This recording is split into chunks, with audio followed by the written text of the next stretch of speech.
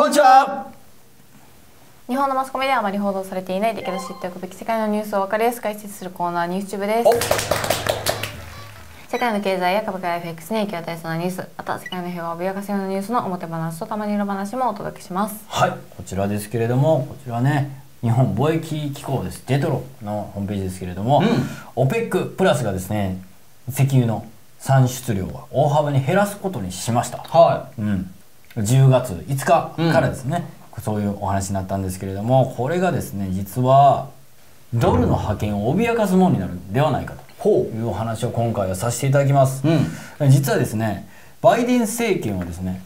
サウジアラビアに対してもうそういう原産度がすんせんといてって言ってたんですよ。はいはいはい。うん、しかしもうはっきりとアメリカの答えは断固としたノーだったというようなことが伝えられてましてこれこれウォール・ストリート・ジャーナルですね、うん、えサウジの減産決定アメリカの先送り要請。1か月待ってな言うてたんですよ。1か月ですよ。それはノー言うて、うん、もう減産に踏み切った。しかもそれはですね世界需要の2%になる、うん、当たるということでかなり大きなこの減産幅になるんですね。パンデミック以来最も大幅なものと言われております。はい。これがですねどうアメリカの弱体化につながりそしてロシアどっちかというとその西側より逆の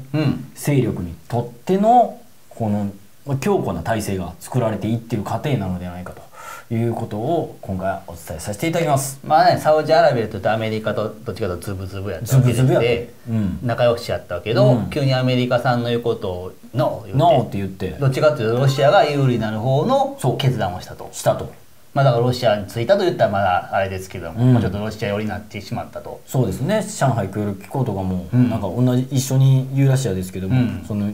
サウジアラビアとロシアちょっと結びついてなんかやろうとしてますし、はい、ということですよね。でアメリカの一強がちょっとね揺らいでいるという揺らいでる、まあ、基地通貨どれも揺らいでいるということでその辺の最新情報をお伝えしてもらいたいと思うんですけども、うん、その本題に入る前に一つだけ神尾 TV からも重要なお知らせをさせてください、はい、今まで神尾 TV ではコロナについて日本のマスコミが報道しない情報とかですね、うん、やばすぎる裏話なんかあってたんですけどもそれやったらダメということで YouTube さんにめちゃくちゃ怒られました、うん、そして今 YouTube のルールでテレビで言ってるような話しかしたらダメ。反対意見などは一切禁止っていうねある意味言論統制ができてしまいました。はい、そのためコロナについて自由に発言できなくなったので今は別の動画サイトで最新情報をお届けしています、うん、実は YouTube では内容がやばすぎて消されてしまった動画もいくつもあるんですがそちらの動画サイトで復活させてます。すで、はい、に新作動画が50本以上ありまして YouTube で言えない裏話を思いっきりやりまくってます。こちらはメルマガでのみ動画見る方法をお知らせしてます YouTube で本当にこれ以上得ませんので、大切な情報を見逃さないためにも、まだの方はぜひメルマガを登録しておいてください。動画概要欄にリンク貼っております。お願いします。お願いします。もちろんした費用はかかりません。完全に無料です。そして、その消された動画の内容は絶対にあなたに知っておいてほしい内容です。特に女性の方は必ず一度は見てもらいたい情報となっております。うんちょっとめんどくさいんですが、YouTube の規約の関係で YouTube ではリンクもお知らせできないという決まりになっておりますので、お手数をおかけしますが、メルマガの登録をよろしくお願いいたします。まずですね、こちらの通り、10月5日ですよね、うん、OPEC プラスが200万バレル減産で合意ということで、まあ、なかなかないぐらいの大幅な減産だったということです。うん、これはですね、何を求めている、何をやりたくて減産するかというと、エネルギー価格を高止まりさせたいわけですよね。今、どんどんですね、これ WTI アメリカの原油ですけれども、まあ、値段はどんどんどわ下がってたわけですよ。うん、うん、でこれを 100, 100とかもっと上げときたいというのが、はい、まあ、ロシアとしてはまあ嬉しいですよね。どっちかというとね。な、うん。でかっていうと、うん、戦争してるし、はい、うん、売ったら安く売れたとしても高い方がいいじゃないですか。うん、うん、ということでロシアとしては産油国としてはねどっちにしろ高い方がいいわけですよね。当たり前ですけどね。はいはい、うん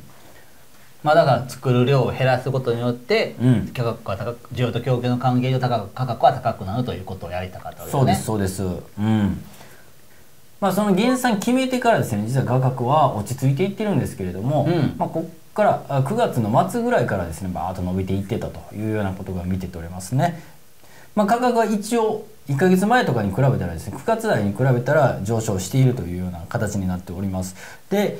え中間選挙を控えてですね、うん、アメリカのバイデン政権刺激する可能性がすごく高いんじゃないかというふうに言われてますね。はい、うん、あのいろいろやらなあかんじゃないですか。まあ、原油価格が上がりましたオイルが上がりました。ただでさえインフレで苦しんでます、みんなということなのにオイルもまた上がってきましたっていうもうええ加減にせえというふうになりますよね。お前らがこううまいこと政権の手綱握ってないからこんなことになっとんねんやって、うん、っていうふうに不満が殺到することになりましてじゃあですね戦略的備蓄の追加放出とか、うん、そういうことも入ってきますよね。じゃあ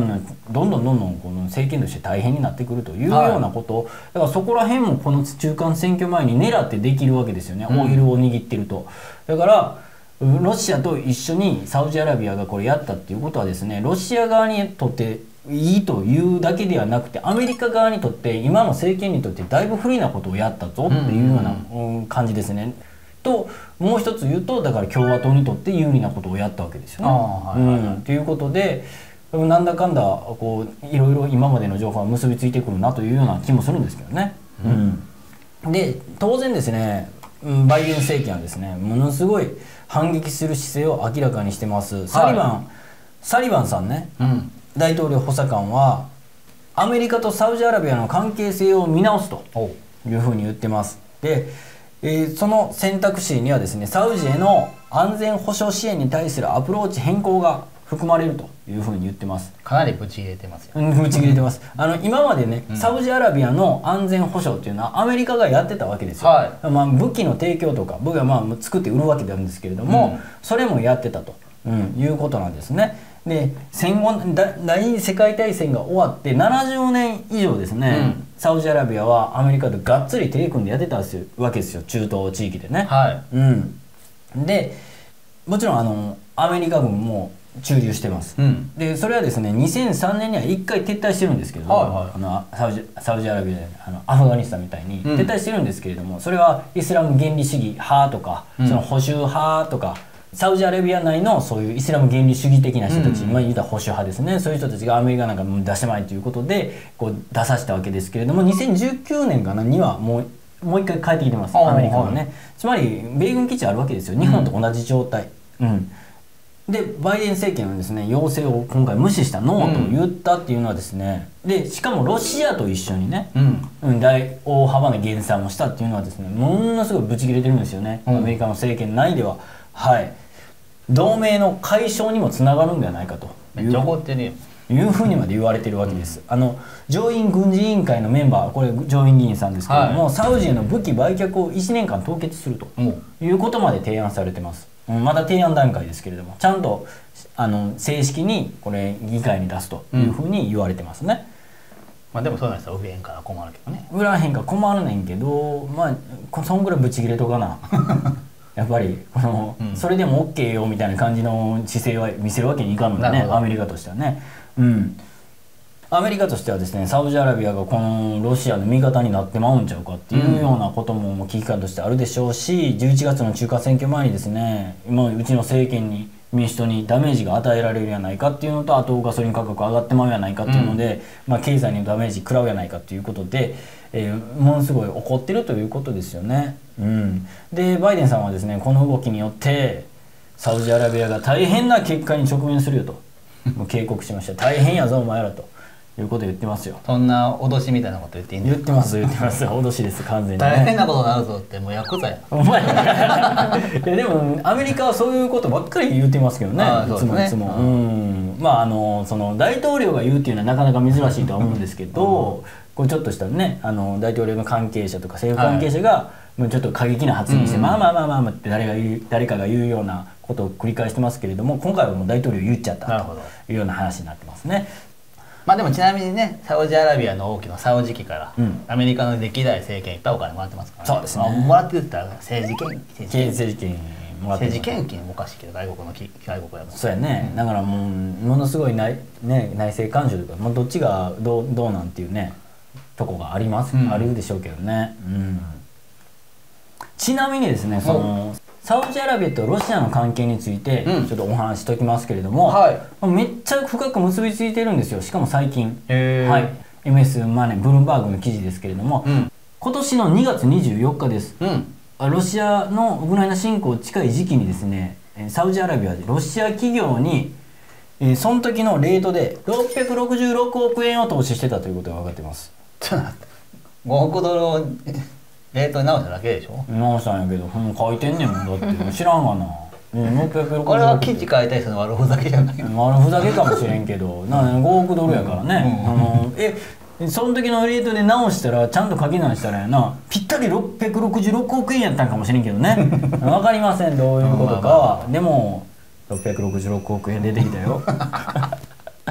あでもすごい額なんですよ、はいはいはい、サウジアラビアがロシアにすあ投資する額としてはまあ史上最大級なんじゃないかな、うん、あ2015年以来では最大級ということです。でこれ投資した企業はここにも記事で書いてあるんですけれどもガスプロムですね、うん、ロシアの国有三大企業ね。ガスプロムロフネフチロスネフチあとルコイルっていうところですね、はい、そこにもうこんだけでかい額を投資してるということです、うん、えー、ちなみにサウジアラビアの会社としてはキングダム・ホールディングスというところが投資企業なんですけれどもそこの上半期の2022年上半期の半分以上をロシアに投資したと、ね、かなりでかいですよ、うん、しかも、ね、ロシアは経済制裁を受けて株が暴落する時に買ったとか、うん、だから今大儲け。すごいなサウジアラビア、うん。まあ、分かってたんでしょうね、うん、今下げてるから買っとき言うて。OKOK 言うて。666億円さすがねムハンマド皇太子が自分で作るファンドにキングダムホールディングスなかなかつけないですよ、ね、王だから、まあ、王だから。王だから。そのままそのまま、うん、これねあの一般人がやってたらアホやなって思うけどね。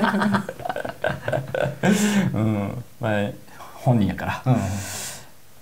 でこの投資の目的っていうのはいろんな憶測飛んでるんですけれども、はい、一つはですね原油価格を高値で安定させるため維持させるためにサウジアラビアとロシアで利害をこう共有しようやないかともう運命共同体にちょっとなりませんっていうお話でこれがや投資をしたんじゃないかというふうに言われておりますね。うん、うんうん、ちなみにですねこのサウジアラビアはですねロシアから石油買ってます。はいはいはい、産油国なんですけれども石油買ってます。自国で消費するその火力発電とかの原油に使ってるらしいですね。でその分で余った自分の国の原油をですね高い値段で国際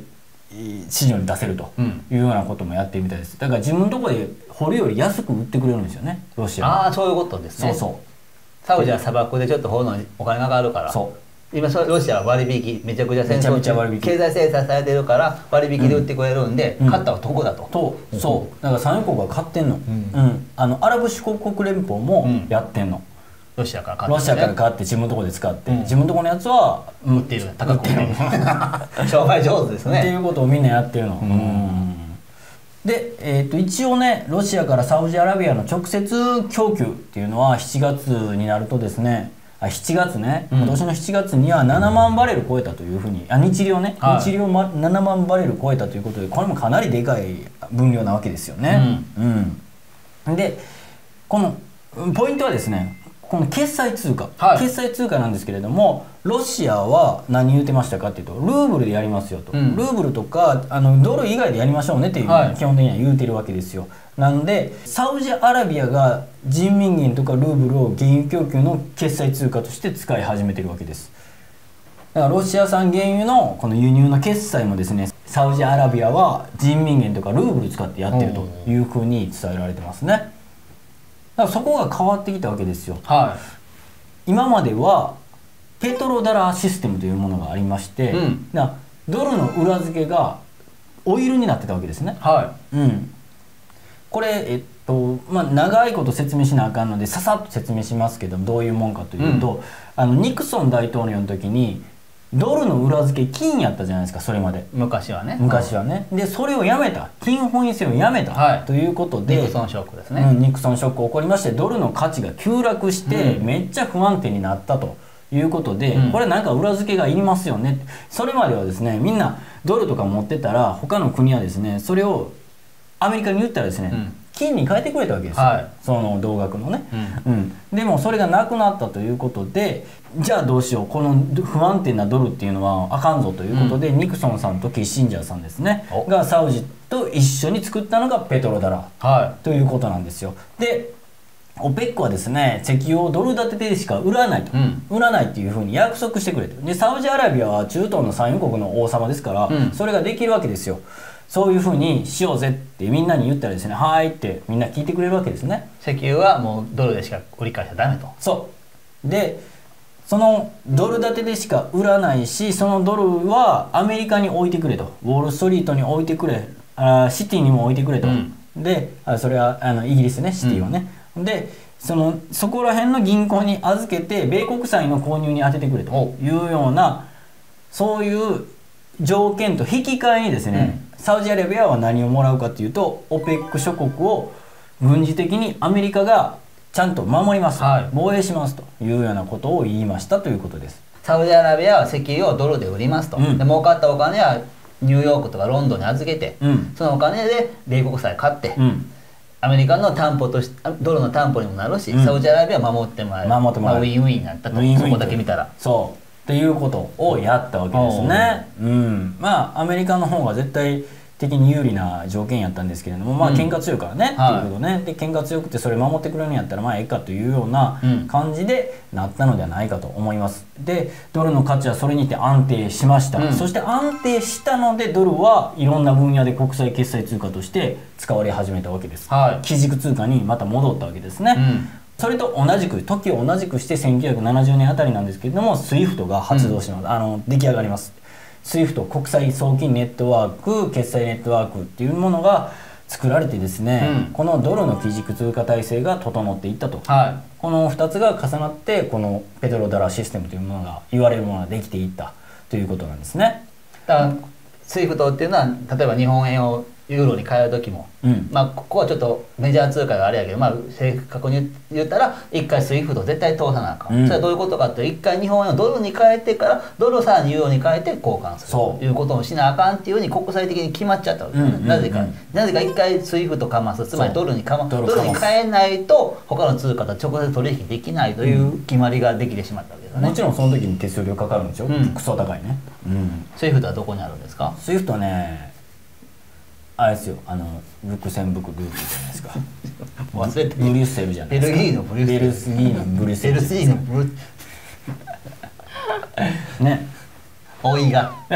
老いが出てきてるよ。老いに注目せんでくださいね。あのそれは知ってる知ってる。でね、うん、今まで、いろんな人がねいろんな人がというかまあ少数ですよ。このペトロダラーシステムに反対したようなことをやってきました。例えばですねイラク、うん、イラクはフセインさん、サダム・フセインさんでもう悪魔みたいな感じでやられた人おったじゃないですか、うん、これユーロだけユーロ建てでオイル売ったんですよ。はい、はい、ダメにされましたね。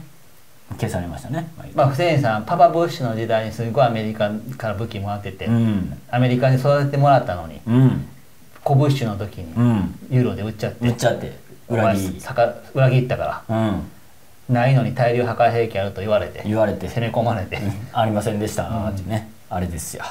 でその大量破壊兵器あったっていう論文も、うん、MI6 のスパイがイギリスの学生の論文パクっただけっていうのをねここまで全部バレてますからね、バレてます。バレてますがなんか誰も責めない、うん、そこを責めない。全く捏造した理由で責めて謝りもせんし。いやもうアメリカってそればっかですよね本当にね。むしろいイラクの石油関連企業全部乗っ取って、そう。ね。ね。まあ。ロシアにはめっちゃ言うと。そうそうそう 何してきて今までっていうね、うん、ロシアのことをめちゃめちゃ言ってますけどもめちゃめちゃ言ってるのも、うん、君やないかっていうね、うん、はい。そんな話もありますね。うん、うんうんはい。とか言ってね。あのね、でまあ、この方々もですねそのペトロダラシステムに逆らった人たちです。まずはリビアカダフィ大佐ですね、はい、そして、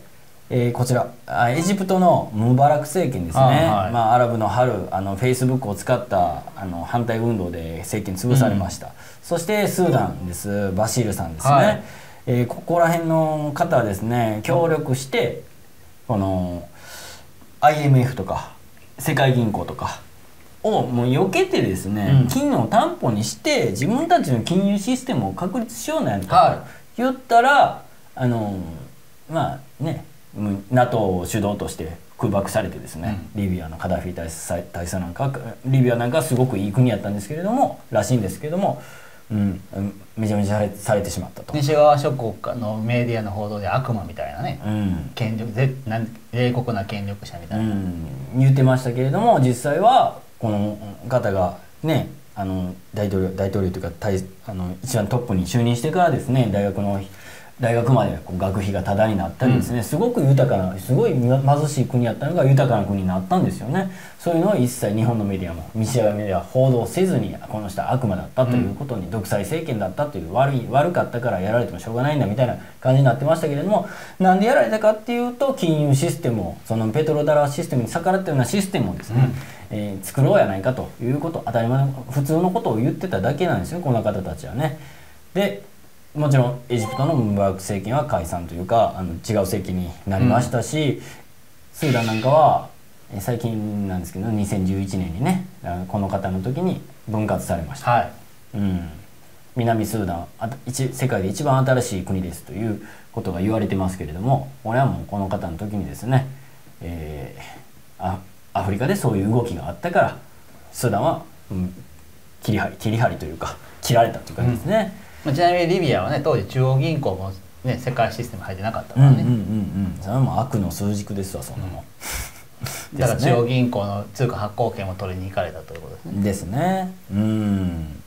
で今回ですねロシアのウクライナ侵攻でですね、うん、まあ、ペトロダラシステムが作られてきたこの1970年代のようなことがロシアでこう今回行われるんじゃないかと。つまりですね、まあ、SWIFT とかあるかもしれないですよ。ペトロダラーというシステムもまだあるかもしれない、続く、続いていくのかもしれないですけれども、ロシアも同じようなシステムをですね、作ろうとしてるんじゃないかということですね。うん、人民元とルーブル使ってですけれども、はい、うん。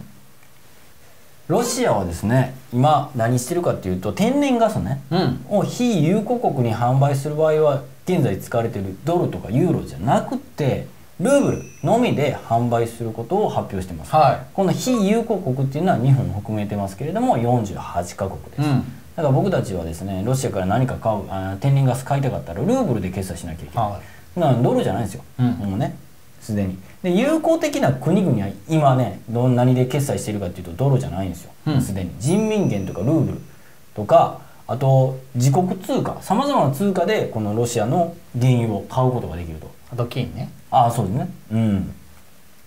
でこれはですね財務省のホームページなんですけれどもインドネシア中銀と現地通貨の利用促進に関わる協力枠組み設立しました。って書いてるんですけど、うん、何が起こってるかというとインドネシア中銀も中央銀行なんですよ、うん、なんですけれどもドル嫌がってるんですよもう、はい、うん、ドルはあんま信用してないような動きになってまして、うん、各国中央銀行にこれね広がっていくような動きになっております。輸出取引における米ドルの使用に対反対してまして国際的な決済を現地通貨に切り替えることで米ドルの依存を減らすようにインドネシア中銀としては呼びかけています、はい、それで呼びかけられて応じたのが中国対マレーシア、うん、4カ国ですね。そこにシンガポールがもうそろそろ入る予定だと。そして、えー、フィリピンも加わる、うん、そしてサウジアラビアが今検討しているというような形になってまして、あれ？ドル使われなくなっていってるやんっていうね、うん、動きがね出てきてるわけですね実際ね。なんでインドネシアがこのドル嫌がってるかっていうとやっぱり SWIFT で一回変える時にめっちゃ手数料かかるからですわ。そうなんや、うん、って言うて言うてます。言うあ言うてますというかそう言うてはないねんけども、うん、こう何どんなに何なんぼかかってますねんいう話の時に。あの旗から分析したらあこれはそれ手数料高いわなみたいな。まあ一言言ったら SWIFT のせいと。いやね。言ってるわけですね、うん、言うてるわけ。言うてるというかあの旗からデータを調べた人がそう言うてるってだけの話だけどね、はいはい、うん。まあ、ここに見えるようにですねサウジアラビアとアメリカの関係が悪くなってるだけではなくてサウジアラビアがアメリカもこのままペトロダラ続けていけんでしょうというようなことで見切りをつけてですねロシアの方にもう今こっち側西側諸国の方を追ったやばいとこっちグループやばいわっていうことで抜けてロシア側につき始めたと、はい、うん、東側と言っていいのか分かんないですけれども、うん、そっち側につき始めたという可能性が十分にあるということです。つまりですねサウジアラビアがバイデン政権の要請を無視してですね、ロシアと一緒にこの石油の大幅な減産を実施したのはですねアメリカ一強ペトロダラシステムの終焉をの兆しなのかもしれない、はい、ということなんですね、うん、今回は以上にさせていただきますまあ、というわけで基軸通貨ドルっていうのは揺らいでいると。揺ら,、ね、揺らぎまくってると。うん。まああんだけ発行したらね。うん。うんうん。西側メディアではもうまだまだドルって大丈夫って感じですけれども東側というか逆側ではもうあかんやろってなってるんでしょうね。まあそれはないと思いますけど。あまだまだ。貿易見たらほとんどドルだから、ね、まだまだね、うん、あの新基軸通貨でやし信用されてるんですけれどもまあいろんなとこに。だってそのこんなこと言ってるプーチンも習近平も資産ドルで持ってますからね。あそっか。うんうんうんうん。でタックスヘイブンに置いてますから。置いてますから、うん、自国通貨で信用してないんですよ。うんうんうんうんドルを信用してますからね、まあ、うんそうよね。うん。まあちょっとだから、うん、前までは100%安心なドルでしたけれどもそれが由来できているということは確かなんじゃないかな、うん、うん、だからもっと言うとずっと言ってますけど中央銀行のボスはビスだから。そう結局そういう大きなシナリオの中でね、うんうん、ドルから違うところへ行こうという動きがあるのかもしれないということです。ね。うん、うん。うんというわけでちょっとね激動の時代ウクライナ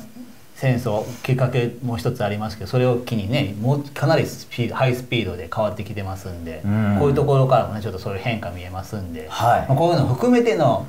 グレートリセットかもしれないかもしれへんな。もありますんでね。この辺の最新情報はまた引き続きお伝えしていきたいと思います。あと冒頭で言ったようにですねコロナについても全く同じでこういうやばい話まだまだいっぱいあるんですけども、うん、最新情報もいっぱい出てきてるんですけどもちょっとね YouTube で一切ありませんのでその情報をお送りさせていただくために今の方ぜひメルマガの方を登録しておいてください。動画概要欄にリンク貼っております。この動画ここで見られてチャンネル登録まだの方は登録もお願いします。高評価ボタンを押してもよろしくお願いします。お願いします。動画概要欄にはこの動画に関する詳しい説明を書いておきますので復習の意味を込めてぜひ一度見てみてください。インスタグラムやツイッターなどのリンクも貼っておりますそれではここまで見ていただきましてありがとうございました。